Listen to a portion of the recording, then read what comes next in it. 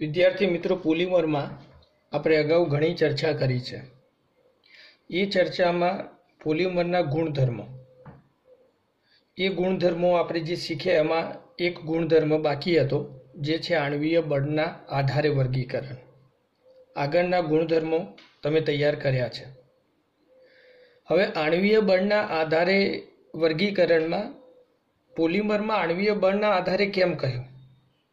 તો કહી શકાય કે પોલિમર પદાર્થમાં જે મનોમરના જોડાણથી શૃંખલાઓ બનતી હોય, એ શૃંખલાઓનું એકબીજા સાથે આંતરાણવી આકર્ષણ થાય, એ શૃંખલાઓ એકબીજા સાથે એચ બંધથી જોડાય, જેના કારણે એનામાં એક ગુણધર્મ ઉત્પન્ન થાય છે.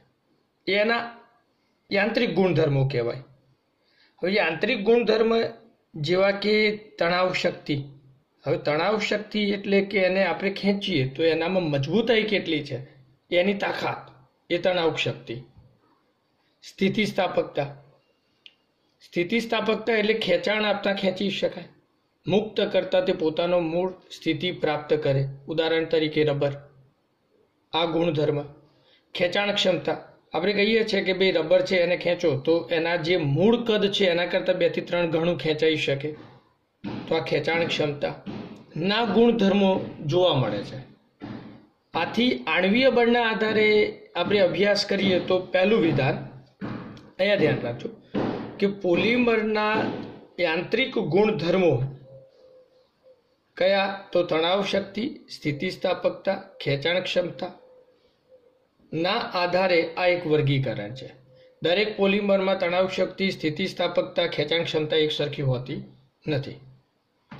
આ ગુણધર્મો શેમાંથી ઉદ્ભવ્યા તો એ ગુણધર્મો ઉદ્ભવ્યા પોલિમરમાં રહેલા આંતરાણવીય આકર્ષણ બળ અને એચ બંધના કારણે.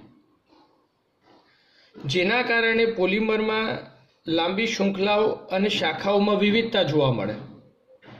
જો એચ બંધ કે આંતરાણવીય આકર્ષણ બળો પ્રબળ હોય તો શૃંખલાઓ મજબૂતાઈથી જોડાતી જાય તો ગુણધર્મો બદલાતા જાય. આથી આ બધા જ પોઈન્ટ અને બંધારણના આધારે, એટલે મુદ્દાઓના આધારે કહી શકાય કે પોલિમર પદાર્થોનું આણવીય બળના આધારે ચાર રીતે વર્ગીકરણ કરેલ છે. એક, ઇલાસ્ટોમર. હવે ઇલાસ્ટોમર શું છે? તો ઇલાસ્ટોમર એક રબર પ્રકારના પોલિમર છે. રબર પ્રકારના પોલિમરમાં આ રબર પ્રકારનો જે પોલિમર પદાર્થ છે, એ એક અર્થે ઇલાસ્ટોમર કહેવાય. હવે પોલિમરની લાંબી શૃંખલાઓમાં જે નિર્બળ આકર્ષણ બળો હોય, જોજો ઇલાસ્ટોમર ક્યાંથી કહી શકાય, કોને કહી શકાય? કે પોલિમરની લાંબી શૃંખલાઓમાં નિર્બળ આકર્ષણ બળો હોય, જેના કારણે એને સરળતાથી ખેંચી શકાય. ખેંચાણ આપતા તે લાંબો થઈ શકે છે, પણ મુક્ત કરતા તે પોતાની મૂળ સ્થિતિ પ્રાપ્ત કરે. એવા પોલિમર પદાર્થો, એક અર્થે રબર જ છે, તો જેને આપણે ઇલાસ્ટોમર કહીએ છીએ. ઉદાહરણ તરીકે, કોનો સમન્વય થાય તો મેં હાલ વારંવાર ઉદાહરણ એટલે શબ્દ આપું છું રબર, તો કુદરતી રબર. બ્યુનાયસ એક પ્રકારનું રબર અગાઉ ચર્ચા કરી. આઇસોપ્રિન બ્યુના એન નિયોપ્રિન, આ બધા એક પ્રકારના રબર છે, તો એ ઇલાસ્ટોમરમાં સમાવેશ થઈ શકે. એના પછી સેકન્ડ છે રેસાઓ. હવે રેસાઓ કોને કહી શકાય? રેસાઓ આપણે જોયા છે, નાયલોન, ટેરેલિન, પોલિએસ્ટર. કપડાં સુકવવાની દોરી છે, માછલી પકડવાની ઝાડ છે. તો આ બધા એક પ્રકારના રેસાઓ છે. હવે કપડાં સુકવવાની જે દોરી હોય, પોલિમરની બનેલી હોય, કોટનની નહીં, તો પોલિમરની બનેલી જે દોરી છે, એને તમે બે આંગળીએ વીંટાળીને ખેંચો. તો ખેંચવા માટે આપણે વધુ મજબૂતાઈ આપવી પડશે, વધુ ખેંચાણ એટલે કે શક્તિ આપવી પડશે. આથી શું કહી શક્યું છે? કે રેસાઓ કોને કહીશું? જે પોલિમર ઊંચી તણાવ શક્તિ, એટલે એને તાણવા માટે વધુ એનર્જી આપવી પડે. એનામાં ઊંચો માના હાઈ મોડ્યુલ એનું બંધારણ મજબૂત હોય. એનામાં એચ બંધ જોવા મળતા હોય. આંતરાણવી આકર્ષણ બળો મજબૂત હોય. તો તેને રેસાઓ કહે છે. આ ગુણધર્મ ક્યાંથી આવ્યો? તો જુઓ, નીચે લખેલું છે કે ભાઈ, પ્રબળ આંતરાણવીય આકર્ષણ બળ અને એચ બંધના કારણે આ ગુણધર્મ જોવા મળે. એમાં ઉદાહરણ શું આપી શકાય? તો નાયલોન, ટેરેલિન એક પ્રકારના રેસાઓ છે. તો રેસાઓ ધ્યાન રાખવા કે ભાઈ ઊંચી તાણ શક્તિ અને ઊંચો માનાંક હોય તેને રેસાઓ કહેવાય. ત્યારબાદ ત્રીજું થર્મોપ્લાસ્ટિક. થર્મોપ્લાસ્ટિક પ્રકારના પોલિમર કોને કહી શકાય? તો આ પોલિમરના વિરાટ અણુમાં લાંબી શૃંખલાઓ સાથે કંઈક અંશે શાખાઓ પણ જોવા મળે. આ એક એનો ગુણધર્મ છે. હવે થર્મોપ્લાસ્ટિક હકીકતમાં કોને કહેવાય? તો એક સામાન્ય ઉદાહરણ જુઓ. કે ધારો કે શિયાળામાં જે પાણીની પાઇપ છે, જે આપણે નળમાં ફિટ કરીએ છીએ તો એ પાણીની પાઇપ શિયાળામાં નીચા તાપમાને અક્કડ બને. આથી સરળતાથી નળમાં ફિટ ન થઈ શકે. એને ફિટ કરવા માટે એને કંઈક અંશેની આગળના ભાગમાં ગરમ કરવું પડે. તો એ ગરમ કરતાં શું બનશે? કંઈક અંશે નરમ બનશે. સામાન્ય તાપમાનથી ઊંચા, સહેજ ઊંચા તાપમાને ગરમ કરતો એ નરમ બને. અને પછી જો એ ઠંડો પાડો, તો એ ફરી પાછો સખત પણ તો આ ગુણધર્મ થર્મોપ્લાસ્ટિકનો છે. કે જો પોલિમર પદાર્થ સામાન્ય તાપમાનેથી ઊંચા તાપમાને ગરમ કરતા નરમ બને અને ઠંડા પાડતા તે સખત બને, તો એને થર્મોપ્લાસ્ટિક કહેવાય. આનામાં બીજો એક નહિવત ખરાબ ગુણધર્મ એ કે ઊંચા તાપમાને જો ગરમ કરવામાં આવે તો તેના બંધારણમાં ફેરફાર થતો રહે. બંધારણ સહેજ બદલાતું રહે. તો એ પ્રકારના જે પોલિમર પદાર્થો છે, એને થર્મોપ્લાસ્ટિક કહેવાય. જેમાં આંતરઆણવીય આકર્ષણ બળો જોવા મળે. પણ આ આકર્ષણ બળો કોના કરતાં પ્રબળ અને કોના કરતાં નિર્બળ? તો ઇલાસ્ટોમર કરતાં વધુ આકર્ષણ બળો પ્રબળ, પણ રેસાઓ કરતાં નિર્બળ. આથી આ એક વિધાન એમસીક્યુ માટે અગત્યનું. કે ભાઈ આંતર આણવીય આકર્ષણ બળો તો રેસાઓમાં પ્રબળ, રેસાઓ મજબૂત છે. ઊંચી તાણ શક્તિ છે. પછી આવશે થર્મોપ્લાસ્ટિક અને એના પછી છેલ્લે એટલે ઉતરતા ક્રમમાં ઇલાસ્ટોમર. ઇલાસ્ટોમર એક નિર્બળ ઓછા મજબૂત ધરાવતા એમ કે પોલિમર પદાર્થો છે. ત્યારબાદ સૌથી સારો ગુણધર્મ ધરાવતા પોલિમર. એમાં પહેલાં ચર્ચા કરીશું ઉદાહરણની. ઉદાહરણ તરીકે બેકેલાઇટ મેલેમાઇન. થર્મોસેટિંગમાં બેકેલાઇટ મેલેમાઇન. એટલે એક વિધાન હાલ પૂરતું યાદ રાખજો કે આના પછી આપણે પોલિમર પદાર્થોનો અભ્યાસ કરવાનો છે. હવે એના ગુણધર્મોમાં જો બેકેલાઇટ મેલેમાઇન આવે તો થર્મોસેટિંગ આ ઉપરાંતના થર્મો પ્લાસ્ટિક પ્રકારના પોલિમર પદાર્થો કહી શકાય. પછી જો કોઈ ગુણધર્મ ચેન્જ કરવાનો થશે તો આપણે ચર્ચા કરીશું. પણ આ પોઈન્ટ હાલ યાદ રાખજો કે જ્યાં સુધી હું ન કહું ત્યાં સુધી જે પોલિમર પદાર્થોનો તમે અભ્યાસ કરો, તો એમાં બેકેલાઇટ, મેલેમાઇન, થર્મોસેટિંગ બાકી બધા જ થર્મોપ્લાસ્ટિકમાં મૂકવા. કોઈ આવશે તો આપણે ચર્ચા કરીશું. તો થર્મોસેટિંગ પોલિમર જે મિશ્ર બંધિત, અગાઉ આપણે ચર્ચા કરી હતી દ્વિસંયોજક, ત્રિસંયોજક, ધરાવતા મોનોમર હોય, તો એનાથી જે પોલિમર રચાય એવા મિશ્રબંધિત પોલિમર એ થર્મોસેટિંગ પોલિમર છે. સામાન્ય તાપમાનથી ઊંચા તાપમાને ગરમ કરતા તેના મિશ્રબંધિત જોડાણ વધે, આના કરતા વિરોધી ઇફેક્ટ.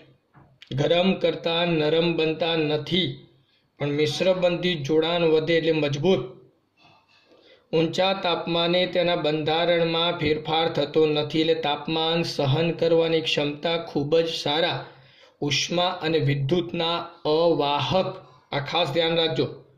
તેઓ ખૂબ સખત છે, ખૂબ મજબૂત અને ઘસારાનો પ્રતિકાર કરવાની ક્ષમતા એનામાં ખૂબ જ જોવા મળે તેવા પોલિમર પદાર્થો, જેને કહેવાય થર્મોસેટિંગ પોલિમર પદાર્થ. આ થયું એક વર્ગીકરણ. એટલે અહીંયા આપણે વર્ગીકરણ પૂરા કરીશું.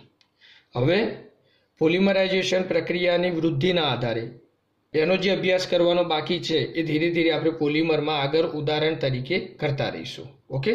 તો આપણે જઈશું સેકન્ડ પોઈન્ટ જે ચેપ્ટરના ગુણધર્મો અને વર્ગીકરણ પછી કેટલાક અગત્યના પોલિમર પદાર્થોનું ઔદ્યોગિક ઉત્પાદન, ગુણધર્મો અને ઉપયોગોમાં.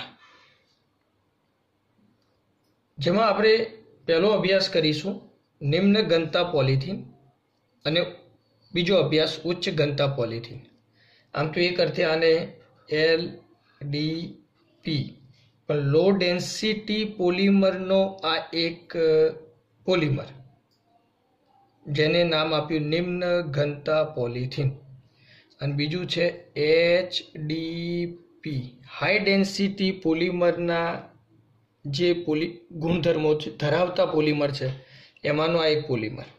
તો એને ઉચ્ચ ઘનતા પોલિથીન કહેવાય. હવે આ બંનેમાં ડિફરન્સ શું આવશે તમે સમજી ગયા હશો. ગુણધર્મોમાં મોટો તફાવત, બનાવટમાં તફાવત, બંધારણમાં તફાવત. બાકી મોનોમર બંનેમાં સેમ મોનોમર તરીકે પહેલાં આપણે આની ચર્ચા કરીએ કે પોલિમર કેવી રીતના બને? તો પોલિથીન છે, તો ઇથિનમાંથી બનશે. તો આપણે એન અણુ સીએસ ટુ બન સીએસ ટુના લીધા. રાઈટ હવે પાઈ બંધ તૂટે. તો આપણે પહેલાં ચર્ચા અહીંયા એ કરીએ કે પોલિથીન બનાવો. તો સીએસ ટુ બંધ સીએસ ટુ બંધ અને અહીંયા એન તો આ ઇથિન આ થયો પોલિથીન. ઓકે એ જ પ્રકારે આની ચર્ચા કરું તો આની બનાવટમાં આ જ આવશે. કે ભાઈ એન અણુ સીએસ ટુ દ્વિબંધ સીએસ ટુ ઇથિન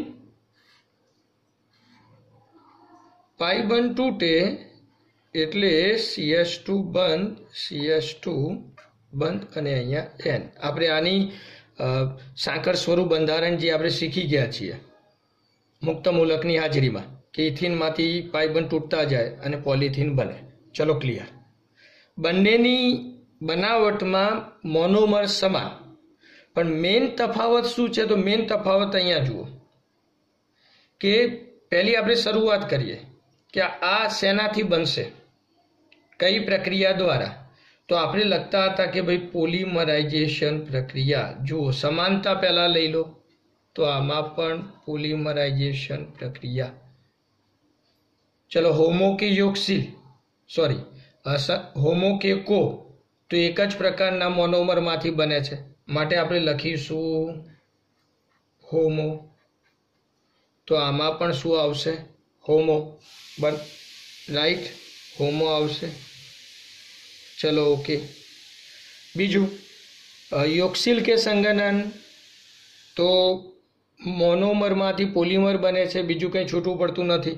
તો આપણે વિધાનમાં લખી દઈશું ભાઈ યોગશીલ તો હોમો યોગશીલ હોમો યોગશીલ હોમો યોગશીલ રાઈટ ક્લિયર હોમો યોગશીલ પોલિમરાઇઝેશન તો આમાં બંનેમાં સમાન ક્રિયાવિધિ સમાન બીજી વસ્તુ અંદર ઉમેરીએ આપણે કે કઈ પ્રક્રિયાથી થશે મુક્તમૂલક કાર્બ કેટાયન કાર્બ એનાયન તો આ થશે મુક્તમૂલક ક્રિયાવિધિ દ્વારા. તો આ પણ મુક્તમૂલક ક્રિયાવિધિ દ્વારા. એટલે અહીંયા પ્રક્રિયા જોજો, ઇથિનમાંથી પોલિથીન બને છે. હોમોયોક્સિલ મુક્તમૂલક પોલિમરાઇઝેશન. તો આ થશે હોમોયોક્સિલ મુક્તમૂલક પોલિમરાઇઝેશન. સમાન જ છે. ડિફરન્ટ ક્યાં? તો પહેલો તફાવત અહીંયા. કે જે લો ડેન્સિટી પોલિમર છે, એમાં ટેમ્પરેચર ત્રણસો પચાસ કેલ્વિનથી પાંચસો સિત્તેર કેલ્વિન તાપમાને. એક હજાર બારથી બે હજાર બાર દબાણ. જો ઊંચું તાપમાન, ઊંચું દબાણ. અને એમાંથી બનતો આ એક પોલિમર પદાર્થ. જ્યારે, હવે અહીંયા જુઓ કે આમાં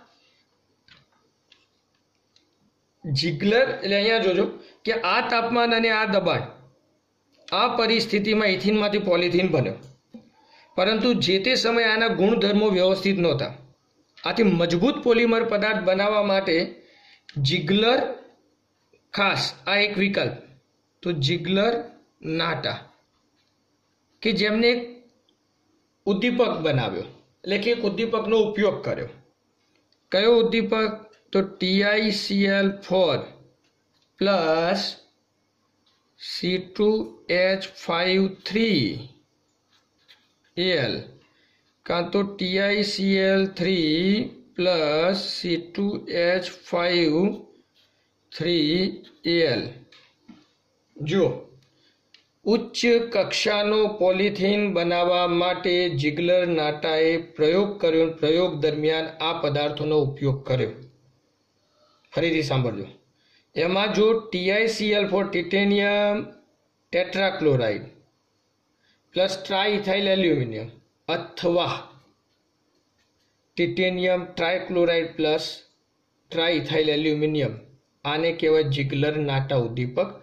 મોટાભાગે આનો ઉપયોગ થાય, બાકી આ પણ જિગલર નાટા, પણ આપણી બુકમાં આનો સમ, એમ કે ઉદાહરણ આપ્યું છે, પણ આ પણ લઈ શકાય. તો એ ઉમેરવામાં આવ્યો. એટલે આપણે લખીશું અહીંયા જીગલર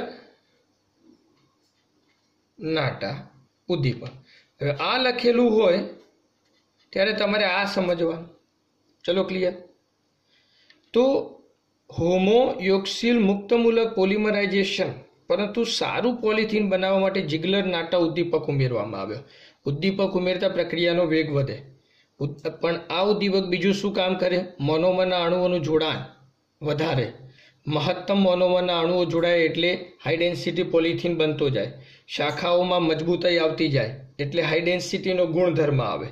ટેમ્પરેચર જુઓ, ઉદ્દીપક ઉમેરતા ડાઉન થયું. Three three three kelvin three three four three kelvin તાપમાને આ પ્રક્રિયા શક્ય બની દબાણ જે મહત્તમ જરૂરી હતું એના કરતાં ન્યૂનતમ થઈ ગયું છથી સાત બાર દબાણે. પરંતુ આના કરતાં આનો ગુણધર્મ વધુ સારો છે. આથી હવે જુઓ, બનાવટ આપણે કરી. હવે ગુણધર્મનો અભ્યાસ કરીએ. તો ગુણધર્મોમાં લો ડેન્સિટી અને હાઈ ડેન્સિટી મેં અગાઉ સમજાવ્યું કે ઘનતા, ગલનબિંદુ, સખતાઈ, મજબૂતાઈ મોનોમરના અણુઓનું જોડાણ, આ બધું જ લો ડેન્સિટી પોલિથીનમાં ઓછું હાઈ ડેન્સિટી પોલિથીનમાં વધુ. આટલો ડિફરન્ટ આ ખાસ ધ્યાન રાખજો. બાકી સમાન ગુણધર્મો કયા? તો વિદ્યુતના બંને અવાહક. પોલિમર પદાર્થ રાસાયણિક દ્રષ્ટિએ નિષ્ક્રિય હોય. પ્લાસ્ટિકની ખુરશી પાણીમાં તમે મૂકી રાખો, કોઈ પ્રક્રિયા થશે નહીં. એને આપણા વાતાવરણમાં બહાર પડી રહે છે, લાંબા સમય સુધી ટકી શકે છે, માટે એમાં કોઈ રિએક્શન આવતું નથી. રાસાયણિક દ્રષ્ટિએ નિષ્ક્રિય. પાણી અવરોધક. પાણીની ઇફેક્ટ ન થાય. ઉષ્મા વિદ્યુતના અવાહક પોલિમર પદાર્થો. આ સમાન ગુણધર્મો. ત્યારે ઘનતા, ગલનબિંદુ, સખતાઈ, મજબૂતાઈ, ઘસારાનો પ્રતિકાર કરવાની ક્ષમતા મોનોમરના અણુઓનું જોડાણ લો ડેન્સિટીમાં ઓછું હાઈ ડેન્સિટીમાં વધુ. ચલો ક્લિયર આ થયા ગુણધર્મો. ઉપયોગ. ઉપયોગની દ્રષ્ટિએ જોવા જઈએ તો આ એક પ્રકારે પ્લાસ્ટિક વર્ગના પોલિમર છે. અને પ્લાસ્ટિક વર્ગના પોલિમર હોવાના કારણે લો ડેન્સિટીની આપણે વાત કરીએ, તો વીજ વાહક તાર હોય તો એના ઇન્સ્યુલેશન ઇન્સ્યુલેશન તમને ખ્યાલ છે કે જે વાહક તાર છે એના ઉપરનું પ્લાસ્ટિકનું આવરણ અથવા રમકડા પેકિંગ માટેના સાધનો અથવા જે આપણે ઇલેક્ટ્રિસિટીની પાઇપો મકાનોમાં એમાં ફિટ કરવામાં આવી લચકદાર પાઇપ હોય તો એની બનાવટમાં એનો ઉપયોગ થઈ શકે. જ્યારે હાઈ ડેન્સિટી પોલિથીન છે તો એનો ઉપયોગ એ આના કરતાં થોડોક વધુ સારો હોય, કારણ કે એની મજબૂતાઈ વધુ છે. આથી હાઈ ડેન્સિટી પોલિથીન એટલે તૂટે નહીં તેવા સાધનોની બનાવટમાં, મજબૂત સાધનોની બનાવટમાં. જેમ કે ડોલ છે, કચરા પેટી છે, મજબૂત બોટલ્સ કે પાઇપો હોય તો એની બનાવટમાં થઈ શકે છે. ઓકે? તો આ એક પોલિમર પદાર્થ, એનું ઔદ્યોગિક ઉત્પાદન ગુણધર્મોને ઉપયોગો આપણે સમજ્યા.